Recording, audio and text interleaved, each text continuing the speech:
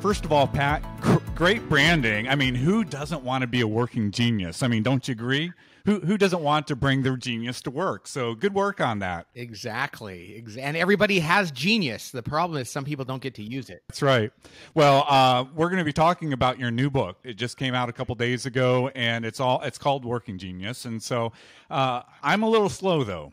So someone else had to point out to me that the six different profiles that you write about in your book are descriptive words that spell out the word widget. And this makes me think there may be a flaw in your assessment since it indicates my genius is discernment. So anyone with discernment probably should have picked that up on their own, but I, I digress. Uh, so will you uh, quickly kind of give us an overview of the six profiles? Yes. So it's the the book is the six types of working genius, and and and they are the six ways to get all work requires all six of these geniuses at some point. So here they are. I'll go very fast. The first one is the genius of wonder.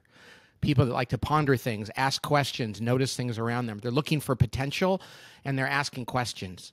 That's a, that's a genius. It really is, and it's the beginning of every project or, or program or any uh, endeavor. The next one is the genius of invention.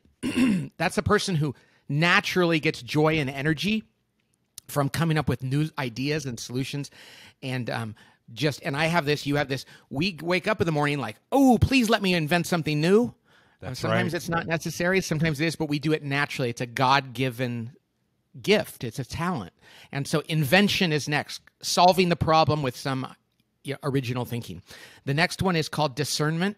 That's not discerning your vocation like people do in the in the religious or world but it's it's gut feel it's uh, mm-hmm. instinct. It's like pattern recognition and, you know, just having really good intuition, not data driven or linear thinking, but more like, hey, I think I've, I've seen this before and i am an integrative thinker. And so those kind of people have great judgment, which is just based on gut. And it's a real gift.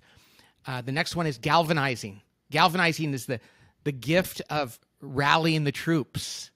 Some people love to get people moving, inspire them, and remind them, and keep them going, and like, hey, let's let's get excited again.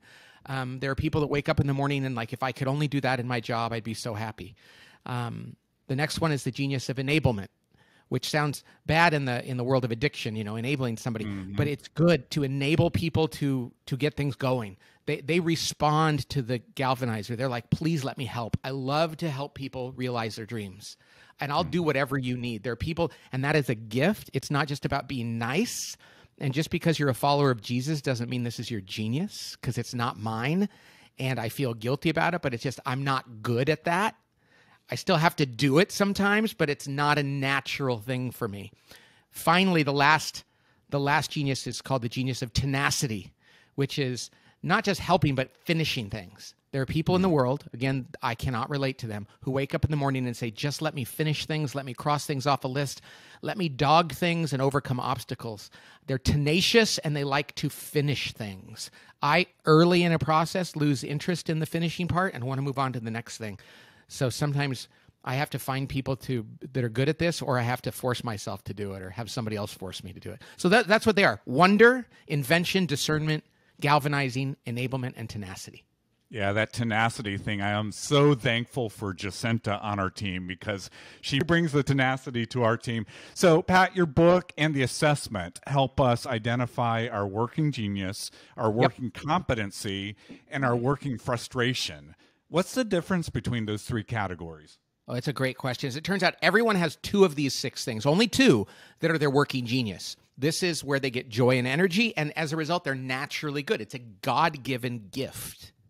Now, I like to say that's like taking a you know one of those um, thermoses. If you pour coffee, if you pour coffee into one of those and put the lid on it, it will hold its energy, its heat for a long time. I mean, you can open it up three hours later and it'll burn you, you know. Mm-hmm. And and that's your working genius. It'll hold it. You, you can hold your energy. You can work for twelve hours in your area of genius and still be fired up and really excited. You're getting joy and energy from that. That's a working genius. Now, in the middle is your working competency. You're you're pretty good at it. It doesn't really feed you. You can do it for a while, but eventually you lose your steam. That's like pouring coffee into a cup at Starbucks and putting a, a lid on it. And it'll hold its energy for a while, but it'll eventually go cold. Well, your working frustration is the last two.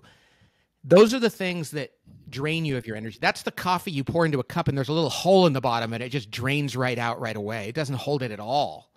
And each of us has two of these areas of genius that are our frustration that we can't do them hardly at all without losing our steam.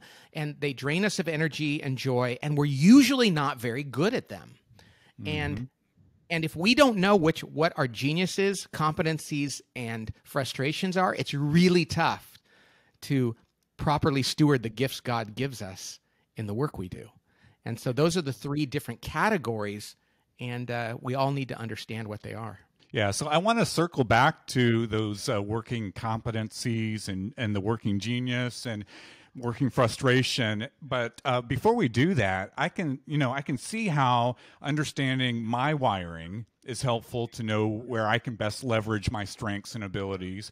But the working genius, it's not just for individuals; it's also for teams. Am I right? Yeah, we didn't when we first came up with this, it was by accident. I just wanted to figure out why I was grumpy at work a lot even though I loved the people I worked with and I loved my firm. And it was because I was doing things outside of my genius too often. And then, though, we looked at it and we, we categorized everybody else and we were like, oh my gosh, we have gaps. And we have people that are good at things and we're not as- actually asking them to do them. And mm-hmm. we were relying on things like job titles. Like, well, that's your title. We're like, hey, forget about job titles. You're great at that. And that's what this is all about. It's really a productivity tool. And that's just as relevant for churches as anywhere else. In fact, I would say it's more relevant because what churches do is more important than other organizations, and productivity matters. Absolutely. Absolutely. Well, Pat, now that I have you cornered as a guest on today's podcast, I'm going to selfishly uh, let you coach me a bit. Invention and discernment are my working genius. So, how should that shape where I invest my time and how I lead my team? Okay, so you and I share the same two we're, so we have the same pairing, and we have names for every pair. And and you're what's called a discriminating ideator. What that hmm. means is not only do you come up with new ideas, that's your the invention part, but you're really good at evaluating like in real time like is that a good one or is that so so of the ideas you come up with a pretty high percentage of them you've already thought through now there's other people my wife is one of them she's a wonder invention so she's what's called a a creative dreamer well, she just throws stuff out there, and her head's way up there in the clouds, and it's beautiful. But she then needs somebody to come along and discern whether or not that idea is workable. And maybe half of them are good, half of them aren't, and she's fine with that. You and I are particularly, it matters to us to not just come up with an idea, but we discern it in real time. And so our hit rate on those ideas is pretty good. But when I look at your results, um, the one thing you don't like is to G, galvanize. Right. And so, like, you're really good at coming up with an idea, but you're like, please don't make me sell this again and again and again.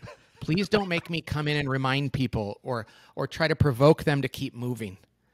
Cuz that's just that is one of the things that drive you making people do things that they're not naturally inclined to do is one of your krypton it's your kryptonite. yeah. Well, so right? you you mentioned it. Yeah, you're absolutely right. But you mentioned it. You know, when it comes to working frustrations, galvanizing and enablement are the top of my list and it seems like that genius that you need that to lead a team and bring the best out of others. So here i am a, uh, as a leader. I have these working frustrations of galvanizing and enablement. So i guess the question is uh, coach should i actually be leading the team or am i in the wrong job? Uh, the, the answer to that is this no matter what your type is, you can lead an organization as long as you do two things. You know what your weaknesses are and you surround people who can fill the gaps in. Okay. Self awareness is more important than what your type is. So here's the thing for you, and I'm speaking to myself here to a large extent, Tony, is like your favorite meeting is like a brainstorming meeting or a strategy setting meeting. And so during those meetings, you're at your best and your organization needs you. And that's great. You're at your best. Then, then you're, you're implementing ideas and you should go to those meetings and you should be less inclined to jump in and take over because what we tend to do is make every meeting about the things we're good at. And mm. when you go to a meeting and you say, oh, this is a GT meeting, get things done, rally people to finish something, you're going to go to that meeting and you're going to say, I'm going to sit here. I'm going to sit on my hands a little bit. And if you guys need me to do something, let me know but I will not entertain my the fun I like to do because for years I would turn every meeting into a strategy session. and there are times where it's like, we don't need your ideas right now. We need your help in finishing. Now, here's the deal, Tony. It's okay that sometimes you have to do enabling work, but don't make yourself do it a lot because you're not great at it. And it robs you from spending your time on the things you're best at. So, this is not permission to abdicate things that you don't like. It's permission to do them as little as you can in service of your organization. Does that make sense? It, it certainly does. And it really then speaks again to the strength of the team as a whole. We need everybody to bring their working genius for the team to have the greatest impact. Um, so, uh, Pat, tell me if this rings true from your experience. Uh, leaders, many times, though, think they, they were just born to lead. And because of that, when they go to when they go to hire other people, they tend to look for those people that are wired just like themselves. And it seems like that could actually be a recipe for disaster in the long run. Yeah, it is a recipe for disaster. And, and in churches, this is so important because there can be no silos in a church. You know, people can't say, well, the the worship or the music side of, of the, the church is not sinking, but the uh, outreach is. It's like, no, no, no. If we're sinking, we're sinking. We're all in one boat. And if somebody has a, a, a natural God given talent that would be well used in another part of the church, by all means, let them do that. That's uh, God intends us to tap into all of our talents. Yeah, that's so. good. Well, Pat, uh, we do. We have a lot of pastors and church leaders who listen. Any specific encouragement you want to give them as they're leading their teams and their congregations or parishes? Yeah, absolutely. So, first of all, use this for staffing and hiring. And this is what I mean. Let's say you're trying to hire a new youth minister, a person to run youth ministry at your church. So you go out and you say, well, let's find people who are good at youth ministry or have a background in it. The first thing I'd say is, wait, wait, wait, wait, wait. What kind of youth minister do you want? Do you want one that's going to conceive of new programs? They're going to be like inventing and designing programs? Or do you have a good curriculum and you want somebody who's really good at implementing it and recruiting volunteers and, and making sure it gets done. That has a profound impact on who you should hire. And if you hire somebody who's an all star youth minister, and they come in thinking they're going to design the program or they're going to implement that's it so a youth minister is not a youth minister is not a youth minister ask yourself which letters do you need everyone who works in a church should be a minister right absolutely absolutely but we minister in different ways that's and right. what a beautiful thing to say you're a minister, but you might be a minister of hospitality. You might be a minister of thinking new ideas. You might be a minister of getting things done. You know, that's right. And That's but right. but when people are not in there using their geniuses, it's it's it's kind of tragic. It is. All right. Well, Pat, I have, first of all, enjoyed the conversation, but secondly, thank you for giving me a chance to read the book. I've taken the assessment, it's been helpful for us. And because of that, I had my whole team take the assessment. And thankfully, wow. all, all, the letters of widget, now that I know it spells widget, all the letters are accounted for on our team. And I think that's one of the reasons why we're winning as a team right now. But any final thoughts you'd like to share before we wrap up today's conversation? I think churches should use working genius to say to people, let us help you discover who God made you to be. So that you're because this applies whether you're you're working at home with your family, whether you're working at work, whether you're working at church, anything you're doing that's getting things done, people need to know what that is. And I think it's another great on ramp for people to say, "Come in, let us let us meet you where you are." so that you can become the person God made you to be.